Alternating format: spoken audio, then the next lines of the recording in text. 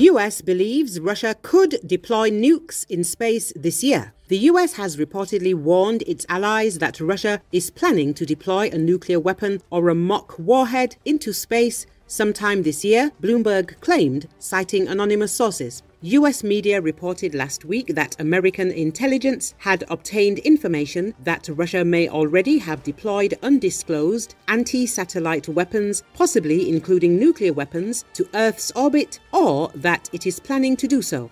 Moscow has firmly denied the allegations, while Kremlin spokesman Dmitry Peskov has suggested they are simply a ploy to convince US lawmakers to approve further military aid to Ukraine. In Bloomberg's article, sources claim that Russia is indeed developing space based weapons intended to knock out satellites.